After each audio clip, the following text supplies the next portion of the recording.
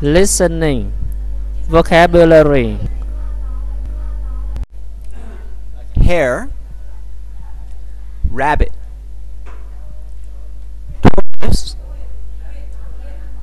ridicule, swift, fast,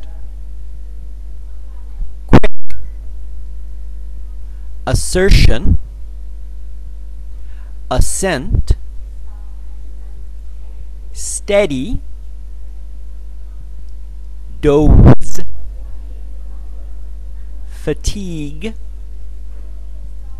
tiredness.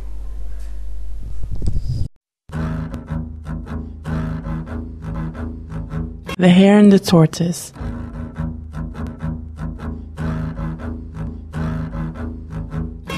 A hare one day ridiculed the short feet and slow pace of the tortoise, who replied laughing, Though you should be swift as the wind,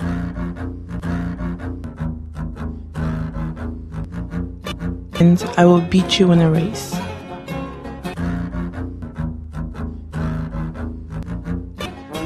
The hare, believing her assertion to be simply impossible, assented to the proposal.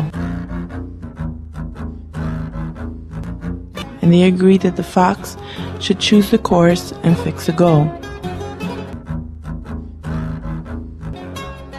On the day appointed for the race, the two started together. The tortoise never for a moment stopped.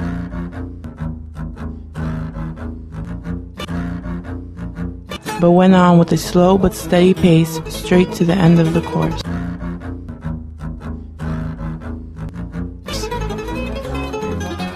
The hare lying down by the wayside fell fast asleep. At last, waking up and moving as fast as he could,